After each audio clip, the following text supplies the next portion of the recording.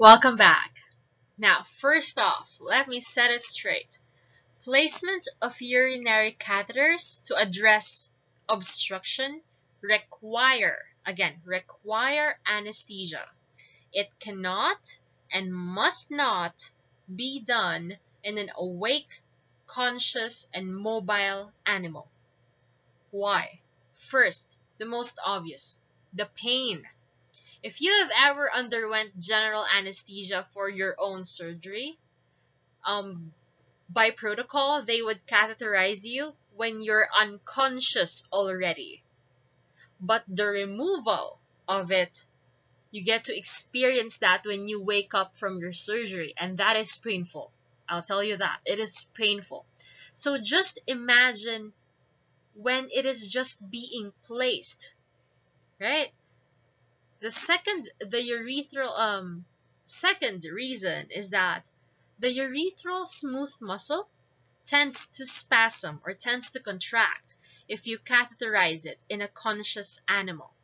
This will not only fight your catheter from going in, but also cause future urethral strictures. Now, for those patients which need catheterization only for optimal bladder emptying, it can be done without anesthetic induction since the control on this urethral muscles is already dysfunctional and spasm spasms of the urethral muscle tend to not occur and even if they do uh, not um, very mild that it will not cause a future stricture. That is the first part of patient preparation. Anesthetize your animals if you are going to unblock them for uh, urinary catheterization. The process that I will be discussing today is for routine urinary catheterization before surgery. The UCATH placements for feline urethral obstruction is outlined in the previous reading assignment that I hope you have read. So, um, for these, uh, this patient, you will need another person to position the animal's body during the procedure, and it is done in lateral recumbency. You have to clip the preputial, uh, preputial area around um, here for males. You have to shave that area. And for cats, we're wherein the um, penis would be around, well, the balls would be here, the penis would be here, very close to it. Uh, you need to clip the caudomedial aspects of the hind limbs as well.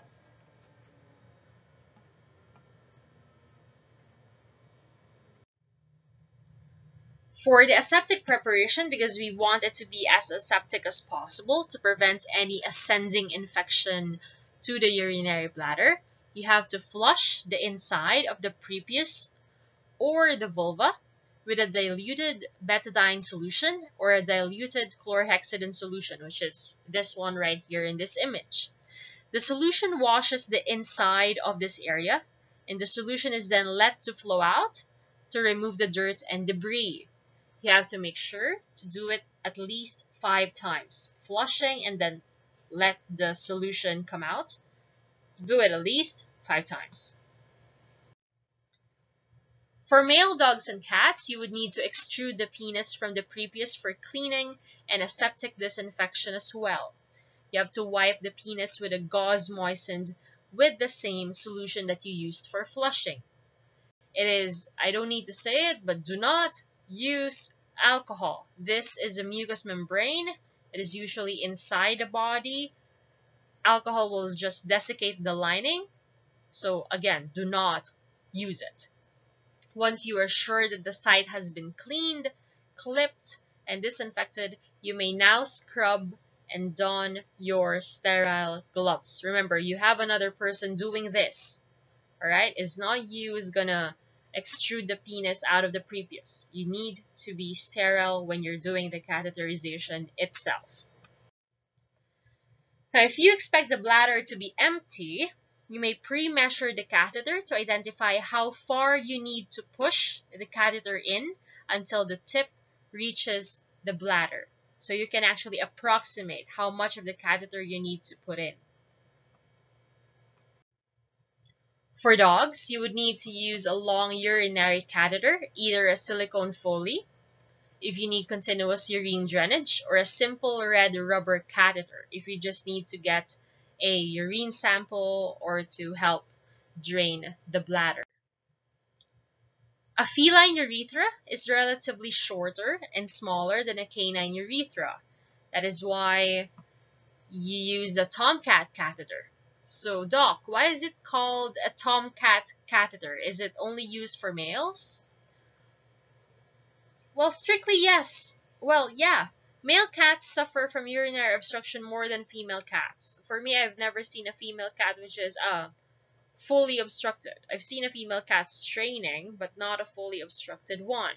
So usually there is no need to catheterize female cats, and also it is very technically difficult.